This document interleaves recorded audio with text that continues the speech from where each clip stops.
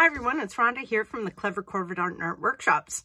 Today we're going to do a really fun project. We're going to take an old folder and we're going to transform it into something like this or this or this or literally thousands of other art pieces. You are not going to believe how versatile this workshop is and how many different uses you're going to have for it. So I'm going to give you a supply list and you're going to go get the stuff you need and we're going to get started. Are you ready? Here's the supplies you're going to need for today's class. You need an old file folder or something that's stiff cardboard similar to a file folder. So an old birthday or Christmas card will even do. Anything that's that's stiffened, uh, capable of being cut with scissors, but not too thick so that it's hard to cut with scissors, okay? You'll also need a few pieces of paper, just plain printing paper or from a paper pad, a pencil, a pair of scissors, a glue stick, and things to color with. So I'm going to use crayons and pencil crayons or pencil crayons. And if you don't have either of those, the great part is that you can do this whole thing with just a pencil if you want. So go get those supplies and I'll meet you back here and we're to get started. So in today's workshop, we're doing something called low relief embossing. Sounds really complicated, doesn't it? But it's actually not at all. It's a sculptural term, believe it or not, but we're going to use it in a different way. So I've pulled out an item to show you what I mean by low relief sculpture. So sometimes when an artist is creating a sculpture, they'll make a sculpture that you can completely walk around. So let's say my coffee cup is a sculpture you can see it from all points of view. But sometimes an artist doesn't want to sculpt all the way around or have you walk all the way around. Maybe they want their artwork to be attached to a wall, like a gargoyle sticking out of the wall. So that's where you start to think about low relief sculpture and high relief sculpture. So I brought this uh, piece of crazy pottery that I made a long time ago to give you an example of the difference between low relief and high relief. So let's imagine that there's a wall here. This is going to be our wall. And this is the sculpture sticking out of the wall. See how it really, really sticks out of the wall? That would be called high relief because it's really close to being able to see the sculpture from all sides. Okay? Low relief, on the other hand, doesn't stick out from the wall very far at all. So you can see that I have these spirally designs stuck to this teapot that I made. They don't stick out very far. That makes them low relief. This part, because it does stick out quite far, it's high relief. So do you understand the difference? Low relief hardly sticks out at all High relief really sticks out a lot. That's what we're going to do today. Do you think you can handle that? We're using paper. I think you can. So I'm going to show you my low relief art piece that I created. Do you see that? It's all pieces of cardboard or file folder that have been glued onto this file folder surface and there's a few different layers here. So this is really low relief. If we were to use a magnifying glass and look at this from the side, you would be able to see that it is sticking out from the wall. It's like an extreme low relief sculpture, believe it or not, because it is three-dimensional. It's sticking out a little bit, even though it looks pretty flat. So that's what we're going to be creating today is our own low relief sculptures, we'll call them. And then we're going to do a lot of really fun art with them.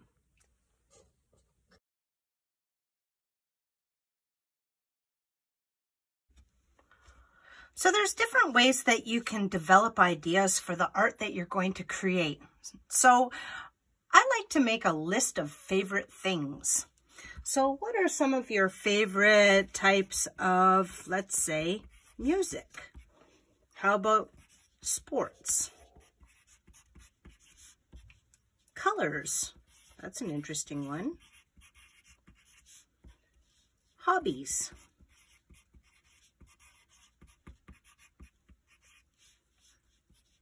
Subjects that you like in school.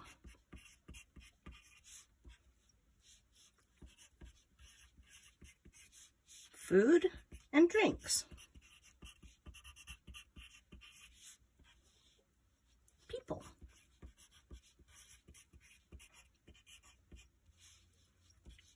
Shows that you like to watch. Any other activities activities. I was checking to make sure I spelled that right. So those are some good starting points to start to develop different ideas. So I went ahead and I started to add information here about all of the different things that I like about music and sports and so forth. And if I want to, I can have an art piece that shows all of the different things that I love or perhaps I can just focus in on one thing. So I'm going to focus on gardening. What kinds of ideas do I get in my head when I start to think about gardening? So I'm putting that word right in the middle. And I'm going to create a word web. So, well, I definitely grow vegetables in the garden and some are root vegetables, such as carrots, beets, and potatoes. Then with beets, I really love to make pickled beets. Mmm, pickled beets, so good. Or borscht. Have you ever had borscht? Potatoes get made into mashed potatoes or fries. But there's other vegetables too. There's tomatoes, zucchini. I don't know if I spelled that right, but that's okay. Broccoli, and so forth. For vegetables, I could keep writing and writing and writing. But there's also flowers. There's something called annual flowers that you grow from seed and they only live for one year. There's also perennials. Um, and they come back year after year. So an example of a perennial is a hosta. An example of an annual could be a zinnia. Um, there are some plants that are actually biannual. And what that means is they oops, drop their seeds like a poppy. So they keep on coming back year after year. Same with um, violas and pansies. But there's more to gardening than that. There's the dirt. And there's worms. And there's nutrients that go into the soil. Like I put something called bone meal into the soil. And so forth. And I'm going to just keep on writing and writing everything that I know about gardening.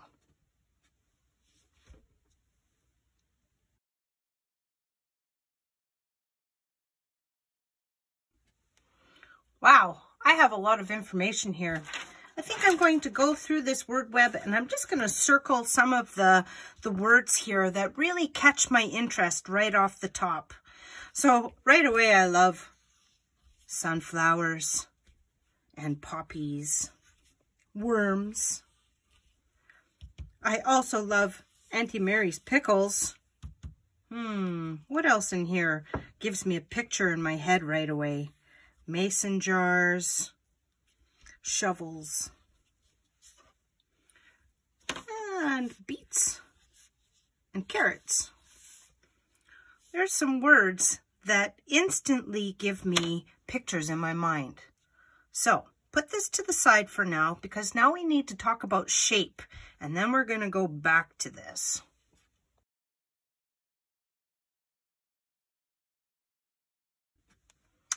So in this art piece, this background shape here is called an organic shape.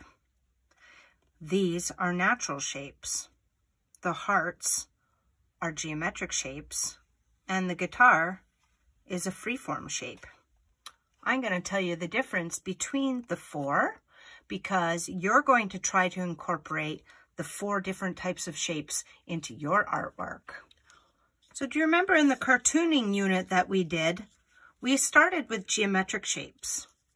We know that geometric shapes are well-defined and orderly, and they're used when you're learning about math a lot, when you're learning about perimeters and so forth. So circles, squares, triangles, hearts, diamonds, ovals, anything that's very orderly is considered a geometric shape. Next, we have natural shapes. Natural shapes are ones that can be found in nature, of course. Leaves, clouds, flowers, stars, lightning bolts. What other shapes can you find in nature? Freeform shapes are unstructured and irregular shapes. So remember that guitar I drew? You can't really say, well, that's a geometric shape or a natural shape it kind of has a lot of different angles and then curved parts to it. So that's why it's called a freeform shape. So it's unstructured and irregular. And look at this funny shape that I drew here. That's definitely a freeform shape. And finally, we have organic shapes. Organic shapes are usually quite curvy and blobby. So you can't really define it either. It's not angular like a freeform shape. So it's called organic. It looks like it can be found in nature, almost like a puddle or a blob. So these are the four types of shapes that we're going to be focusing on. We want at least one geometric shape in our art, one natural shape, one freeform shape, and one organic shape. Do you think you're up for the challenge? Let's see.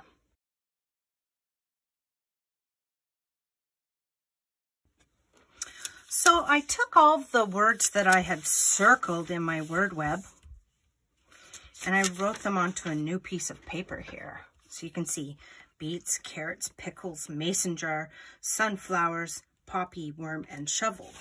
Now what I want to do is I want to try to decide which ones are geometric, which ones are natural, freeform, and organic. So beets are definitely natural. So are carrots. Pickles, well, pickles are cucumbers. That's natural. A mason jar, I would consider that geometric. Sunflowers, again, natural. So are poppies.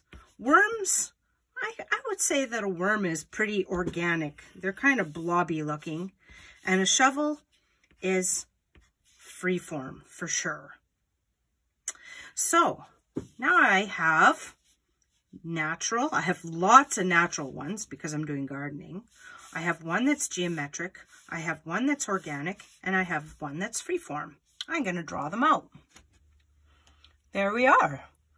I have my natural beet, my geometric mason jar, my freeform shovel, and my organic worm. Now I have to decide how I'm going to put these together into a unique art piece. So that's where my creativity is going to come in and I'm going to come up with a couple of different ideas. So let's get started.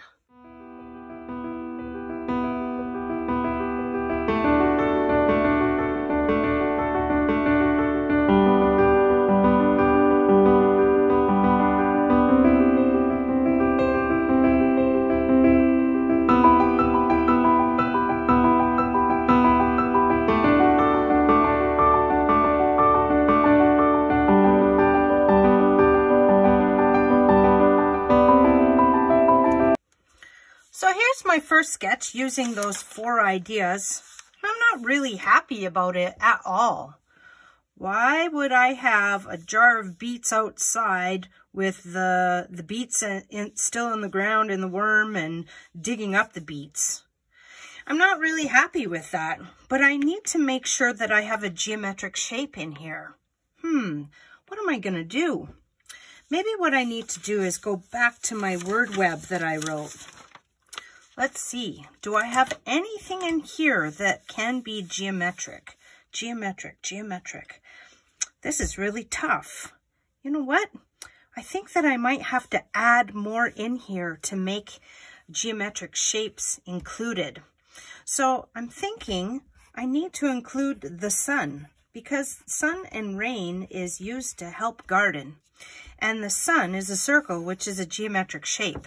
And I think that could really help my design.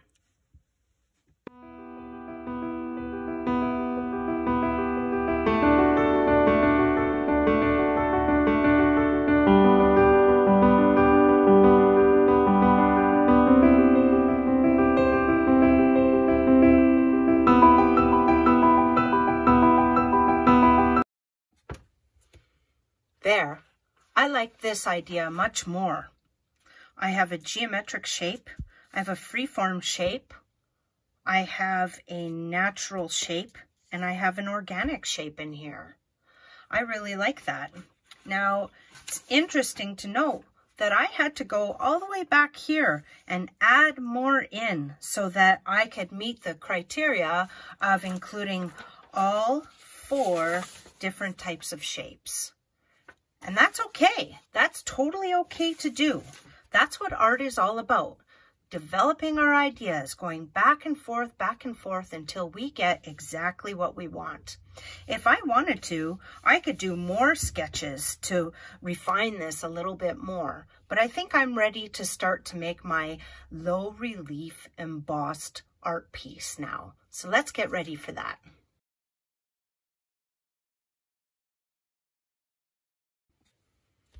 So I'm going to use this birthday card. You could use a file folder if you want to, or any other thin piece of almost cardboard-like paper. But I'll use this birthday card just to show you. Now this birthday card has to be able to fit on this piece of paper, okay? So just make sure whatever size you create as your base is smaller than your piece of paper. So we need a background piece of cardboard that we're going to glue everything onto. So I have that all ready to go. Now what I'm going to do is I'm going to redraw all of these shapes onto this extra piece of cardboard.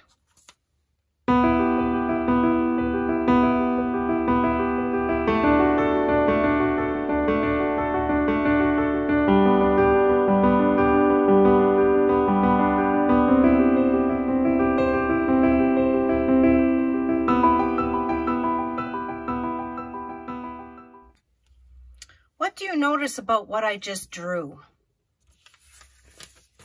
It doesn't look the same as this, does it? The reason is because this is what our final picture is going to look like, but we have to draw them as individual shapes and cut them out of this cardboard. So it doesn't matter how they're set up on the page, as long as I have all of my shapes. So I have the section where the dirt is going to be, I have my two beets, I have my sun, I have my shovel, and I have my worm. And now I'm going to cut them out.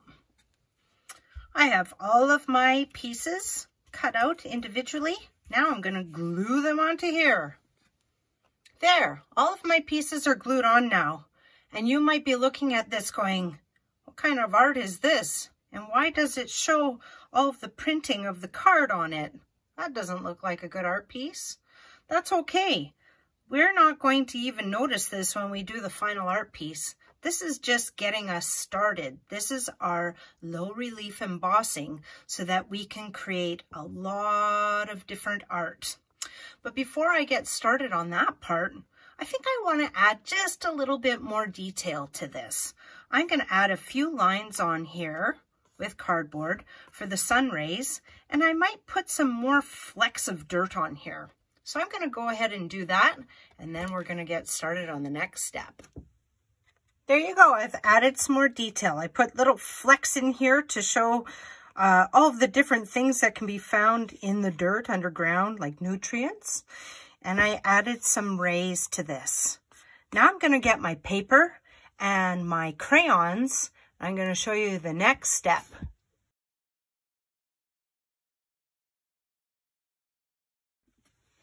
Okay, here we have our print.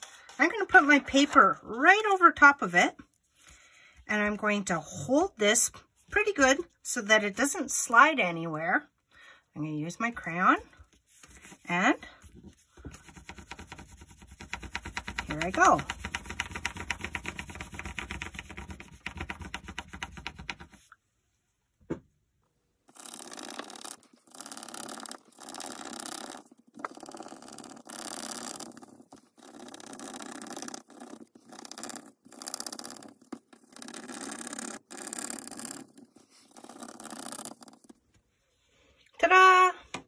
neat, eh? So because it was a low relief art piece, I was able to run the crayon over top of it and it picked up all of the edges. So now I have kind of a base coat of color and I can go back in with a bunch of different colors and I can just start playing with this drawing now. You ready? Here we go.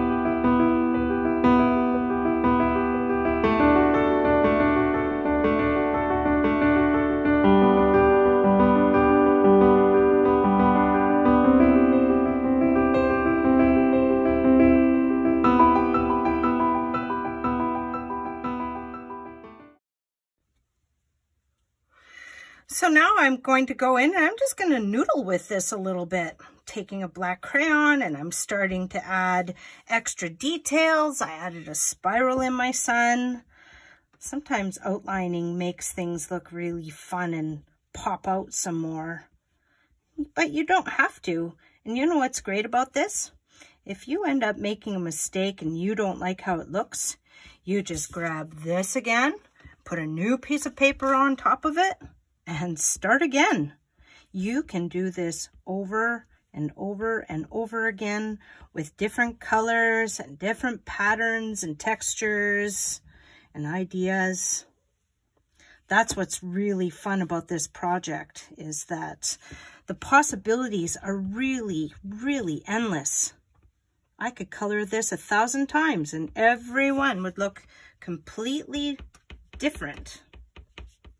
Adding more flecks of dirt in there. Oh, there's my dog barking at something. Probably a cat or a bird or another dog going by.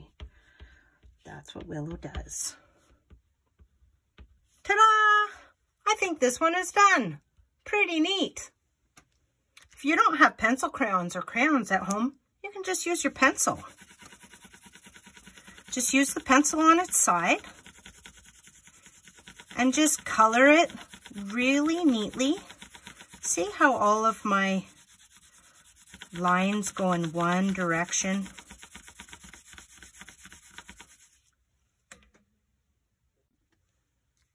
There, I colored it all in. I might even soften those lines a little bit by just smudging it with my finger just to get rid of some of those lines. I like it just like this actually, but I can go in and take this out of here. And I could start playing with this design with just my pencil.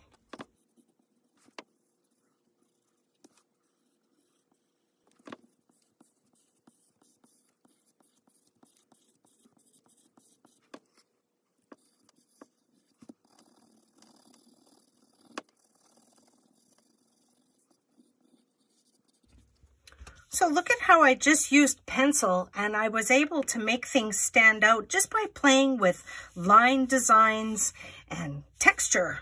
And I made scribbles in the soil and I made curvy organic lines that radiate out from the sun. But guess what? I can make this even more unique. I could take a pencil crayon and I could start to make certain things in the drawing pop out by adding just a little bit of color or a lot of color if you want. So I can go in and add some pencil crayon here. This is called grisaille. When you color over top of a gray pencil drawing by adding a little bit of color, it's called grisaille. Then I could go back in with my pencil and add those detail lines back because they got covered up by the pencil crayon.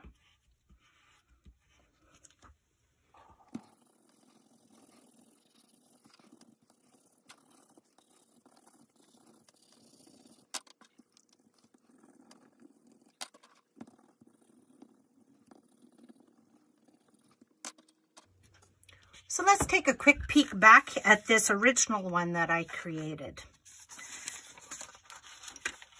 Here's one with pencil.